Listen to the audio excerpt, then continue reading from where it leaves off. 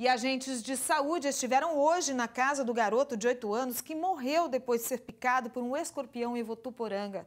Como o animal peçonhento tem hábitos noturnos, não foi encontrado. Eles devem voltar ao local daqui a pouco, viu? Vizinhos reclamam que falta limpeza ali no bairro. Ele era um garoto especial. Aos oito anos, estava descobrindo gosto pela capoeira. Adorava assistir a esse vídeo com a mãe e a tia.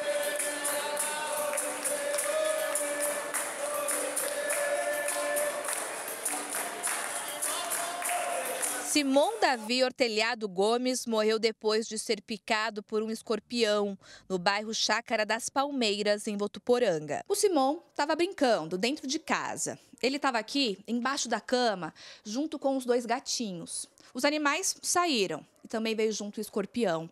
Na hora o Simão não percebeu, mas ele foi picado na pontinha do dedo. Quando ele começou a sentir dores, chorou. A mãe chegou e levou ele correndo para a casa da tia, que é aqui do lado. Aí chegou lá gritando. Eu falei, o que, que foi, né?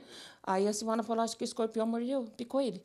Catei, já pus na moto, capacetinho velho que tinha ali, Pus ele, fui, entrei na, na, no UPA, na, pela parte da contramão mesmo, larguei no meio da rua a moto e já cheguei falando para eles. Falei, ah, o escorpião picou ele. Eles agiram rápido. Depois já foi transferido para Santa Casa. O garoto ficou internado na Santa Casa. E mesmo tomando soro com o antídoto para o veneno do escorpião, ele piorou. Teve parada cardíaca e não resistiu. Uma perda grande para a mãe que veio do Paraguai para criar o filho aqui no Brasil. É muito duro. Dói muito. Cheguei o meu filho do coração.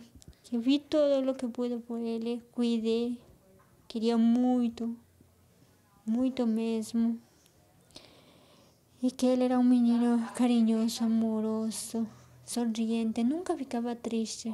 Simon estava começando a se desenvolver. Ele tinha autismo e outras doenças neurológicas. Era muito carinhoso e conquistava quem estava ao redor. Ele era muito querido, do centro. Você falou, só levava luz. Era uma pessoa amiga demais, é, carinhoso. Ele chegava em você e falava, abaixo, abaixo, qualquer um.